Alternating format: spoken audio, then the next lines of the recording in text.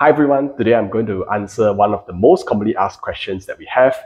Do you have to learn Korean to study in Korea? The answer is no. In the past, almost all universities in South Korea only offered degrees in the native Korean language. That, however, has changed significantly over the past decade with the government's push to expand its foreign student enrollment to 200,000 students by 2023. One of the many policies it has introduced is to expand the country's base of English taught programs. Now, international students like you can pursue a degree in English in majors such as business, engineering, international studies, natural sciences, hospitality, tourism management, and more. Having said that, there will definitely be a wider range of programs available that are taught in the Korean language.